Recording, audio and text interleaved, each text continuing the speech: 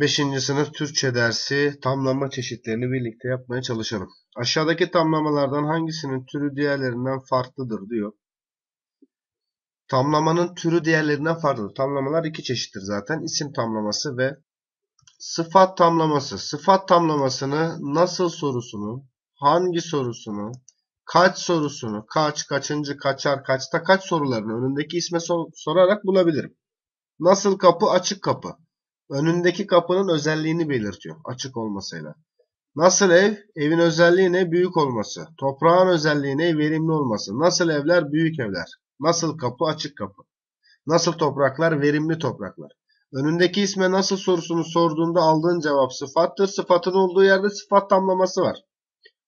Nasıl kaptanı? Takım kaptanı. Olmadı değil mi? Neyin kaptanı? Takım kaptanı. İsimleri de isim tamlamasında neyin, kimin, kim ve ne sorularını önündeki isme sorarak bulabilirim. Takımda kaptan kelimesi de sonuçta ikisi de isimdir. Doğru yanıtım C seçeneği.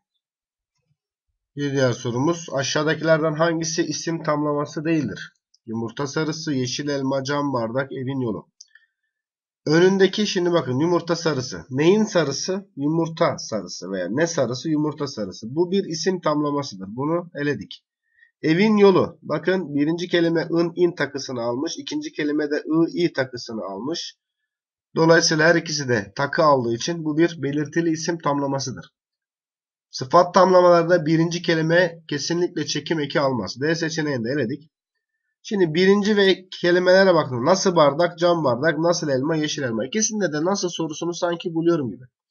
Takısız isim tamlamasıyla sıfat tamlaması birbirine benzer. Burada bardağın neyden yapıldığını belirtiyorsa orada takısız isim tamlaması vardır. Bardak neyden yapılıyor? Camdan. O zaman nasıl bardaktan ziyade bu bardak neyden yapılmış desek daha doğru olur. Demir ev gibi. Nasıl ev? Demir ev. Hayır. Bu evin demirden yapıldığını belirtiyorsa orada takısız isim tamlaması vardır. Sonuçta o da bir isim tamlaması.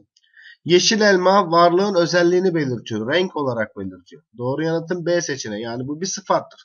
Sıfatın olduğu yerde de sıfat tamlaması bulunur.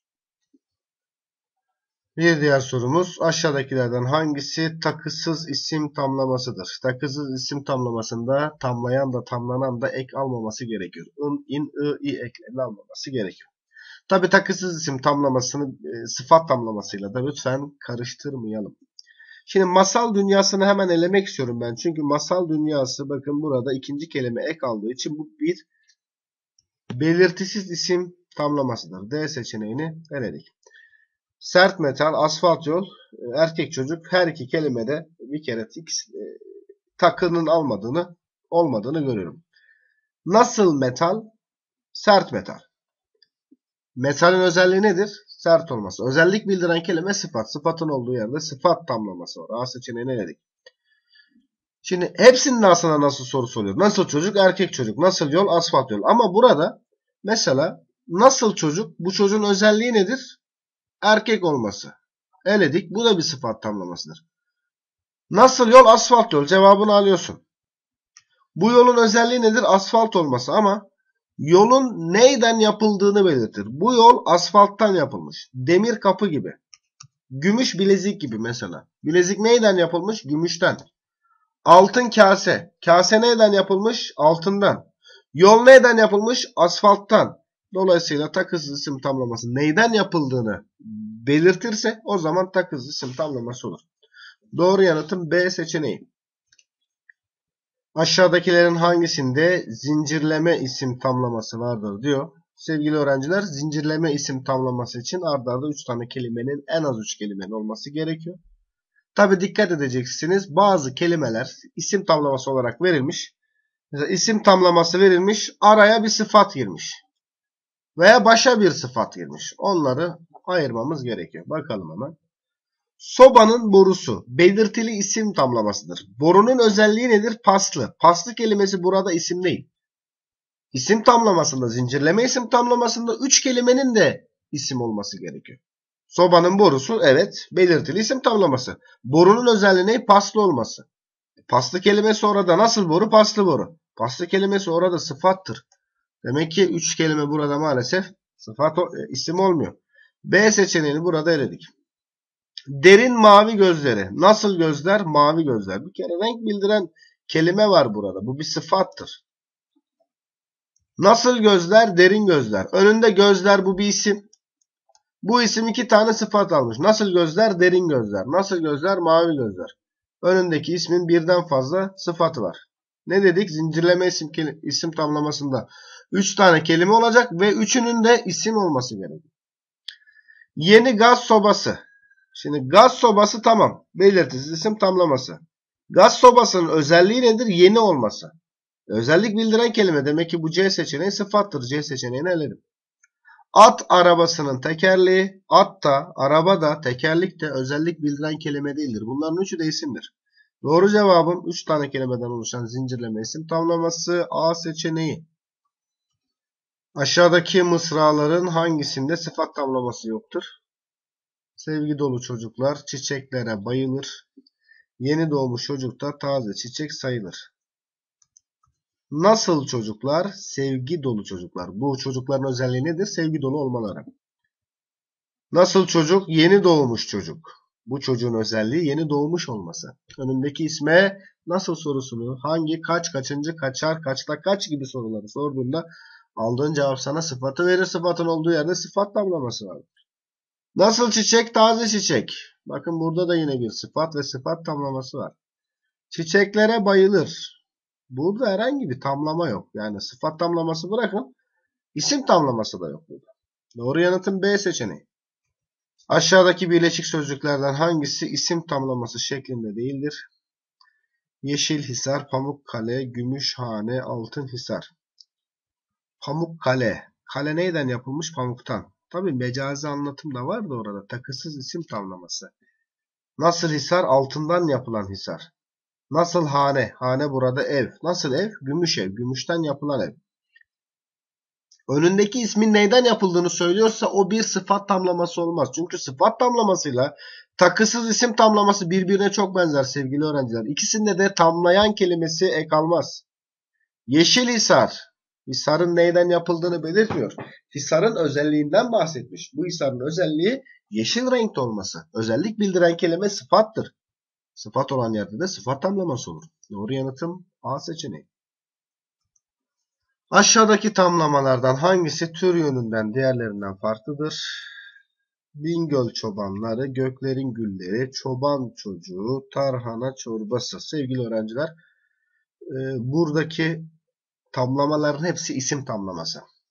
İsim tamlaması, belirtili isim tamlaması, belirtisiz isim tamlaması, ikisi de takı almazsa takısız isim tamlaması, zincirleme isim tamlaması diye dörde ayrılır. Üç kelime yok burada bir kere. Hiç bakmayalım. Zincirleme, isim tamlaması yok. İkisi de tamlayan ve tamlanan ek alırsa belirtili olur. Tamlayan yani birinci kelime ek almaz. ikinci kelime alırsa o zaman belirtisiz isim tamlaması olur. Her ikisi de ek almazsa takısız isim tamlaması olur. Bakalım şimdi. Bingöl çobanları. Bingöl sadece birleşik bir kelime. Bingöl'ün çobanları demiyor. In, in ekini almış mı yok. Ama çobanlar ı. İkincisi eki almış. O zaman ben buna belirtisiz isim tamlaması diyebilirim. Göklerin gülleri. Kelime burada gök. Lerlar çoğul ekini alabilir. Tamlayan da tamlanan da çoğul eki alabilir. Sorun yok. Göklerin ın in ekini almış. Gülleri ı i ekini almış. Her ikisi de ek alıyorsa bu bir belirtili isim tamlamasıdır. Çoban kelimesi zaten yalın halde. Çobanın çocuğu demiyor mesela. Deseydi belirtisi, belirtili olurdu. Birinci kelime ek almadığı için bu belirtisiz isim tamlamasıdır. Tarhana çorbası. Tarhana kelimesi burada yalın halde. Tarhananın çorbası deseydi düşünebilirdik ama zaten yalın halde. Birinci kelime ek almaz. İkincisi çorbası. S kaynaştırma harfi I ikini almış. Zaten aldığı takılara göre ben burada. İkisi de takı alıyorsa belirtilidir. Biri alıp biri almıyorsa belirtisizdir. İkisi de almıyorsa takısızdır. Üç kelimeden oluşuyorsa zincirlemedir. Sevgili öğrenciler bu da ilk kelimesi yine e, takı almadığı için, tamlayanı takı almadığı için belirtisiz isim tamlaması. Her iki kelimede ekini almış. Burada e, tür yönünden belirtili isim tamlaması doğru yanıtım B seçeneği. Bir diğer sorumuz aşağıdakilerden hangisi takısız isim tamlaması değildir? Her iki kelimenin de ek almaması gerekiyor. Şimdi sevgili öğrenciler bakın takısız isim tamlaması her iki kelime almayacak ama bunu da tabii sıfat tamlamasıyla karıştırmayacaksın. Çok kolay bir yöntemi var aslında. Önündeki ismin neyden yapıldığını gösterirse takısız isim tamlamasıdır. Bu kazak neyden yapılmış? Yünden. Ev neyden yapılmış? Kartondan. Şişe neyden yapılmış? Plastikten. Yani bununla sıfat tamlamasını ayırt edebilirsin. Ama güzel çocuk dediğin zaman bu çocuk neyden yapılmış? Güzelden. Hayır olmaz. Bu çocuğun özelliği ne? Güzel olması. Bu direkt sıfat tamlamasıdır. Tabi D seçeneği daha farklı. Bu A, B ve C seçeneği takısız isim tamlaması. Gül fidanları. Birinci kelime ek almamış gül. Diğerleri fidan kelimesine bakıyorum. Fidan kelime e, kök halinde. Lerler eki alsa da sonuçta takı almamış sayılır ama sonunda fidanları diyor değil mi? Yani burada tamlanan kelime kalmış. Bu şekilde olursa belirtisiz isim tamlaması olur. Doğru yanıtım D seçeneği. Bir diğer sorumuz aşağıdaki cümlelerin hangisinde farklı isim tamlaması vardır? Biraz daha ayıralım. Çerçevenin camı kırılmış. Okulun bahçesine geldik. Ard arda söylenir tamlamalar. İster sıfat ister isim tamlaması olsun. Ortasına virgül konmaz. Çerçeve değildir bu. Cam da değildir. Bu ikisi bir arada söyleniyor. Çünkü birbirine ait tamlama özellikleri var. Çerçevenin camı, okulun bahçesi, bahçede kavak ağacı var. Kavak ağacı. Ağaç demiyorum, kavak da demiyorum. İkisini bir arada söylemem gerekiyor. Çocuk değildir, biri de değildir. Çocuğun biri. Değil mi? Evet tamlamaların altını çizdik. Farklı bir isim tamlaması vardır. Dört çeşitti isim tamlamaları. Belirtili isim tamlaması, belirtisiz isim tamlaması, takısız isim tamlaması, zincirleme isim tamlaması. Zincirleme olması için üç kelime olması gerekiyor. Bakıyorum bunların hepsinde de ikişer kelime var. O zaman biz bunlara takısız, belirtili, belirtisiz olarak bakacağım. Sevgili öğrenciler birinci ve ikinci kelime. Birinci kelimemiz, ikinci kelimemiz. Birincisi tamlayan, ikincisi tamlanan kelimesidir. Birincisi eğer ın ekini, in ekini, un ekini ya da ün ekini. Ya ın diyorum ben, in diyorum. ın, in, un, ün olduğunu bil. Diğeri de tamlanan olan kelime ı'yı, i'yi, u'yu ya da ü'yü alıyorsa yani her ikisi de takısını alıyorsa bu belirtili isim tamlaması olur. Çerçevenin camı. Dikkat et lütfen oraya. Çerçevenin in. Bak almış. Cam ı. İkisi de iki aldığı için bu belirtili isim tamlamasıdır. Beli. Belirtili. Okulun bahçesi diyorum. Okul un. Gördün mü? Almış. Bahçesi. Tabi kaynaştırma. Si diye ek yok orada. S orada bir kaynaştırma harfidir. Bak bu da ikisi de ek aldığı için buna da belirtili isim tamlaması diyor. Çocukun biri değil mi? Çocukun diyemiyorum çünkü orada bir yumuşak ya var. Aynı zamanda yumuşama da var orada. ın inekini almış bir i. İkisi de iki kelimede tamlayan da tamlanan da takısını aldığı için buna da yine belirtili isim tamlaması diyor. Bahçede kavak ağacı var. Birinci kelimemiz kavak değil mi? Kavağın ağacı demiyor mesela. Burada kelime kök halinde herhangi bir ın, in, un, ün eki yok. Diğerinde var. Doğrudur. Ağaç kelimesi yumuşamada olduğunu unutma. Ağaçı, ağacı değil mi? İkinci kelime, birinci kelime de yok. ikinci kelime almış. O zaman ben buna da belirtisiz isim tamlaması demem gerekiyor. Farklı olanı benden istiyor. Farklı olan C seçeneğinde. Demek ki e, isim tamlamaları da kendi aralarında ayrılır. Kendi aralarında da tamlayan ya da tamlananın almış olduğu ekle farklı farklı olabilir. Bir diğer sorumuz aşağıdakilerden hangisi sıfat tamlamasıdır diyor. Sıfat tamlaması olması için önünde bir isim ve o ismi belirten bir sıfat, özellik bildiren kelime olması gerekiyor. Sevgili öğrenciler sıfatın olduğu yerde sıfat tamlaması da vardır. Sıfatı nasıl bulurum?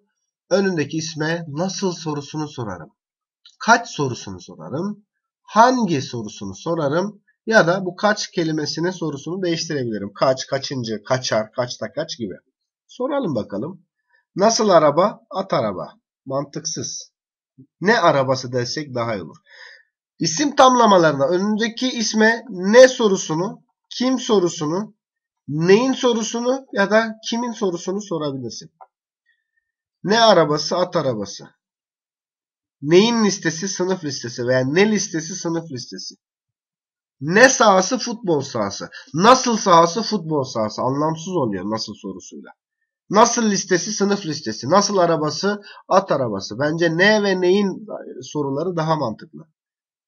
Bu çırağın özelliği ne? Acemi olması. Nasıl çırak? Acemi çırak. Önündeki ismin özelliğini bildiriyor.